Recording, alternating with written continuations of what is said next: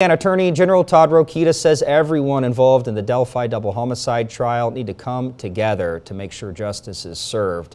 He says, quote, these families deserve justice and closure for these heinous, heartbreaking murders.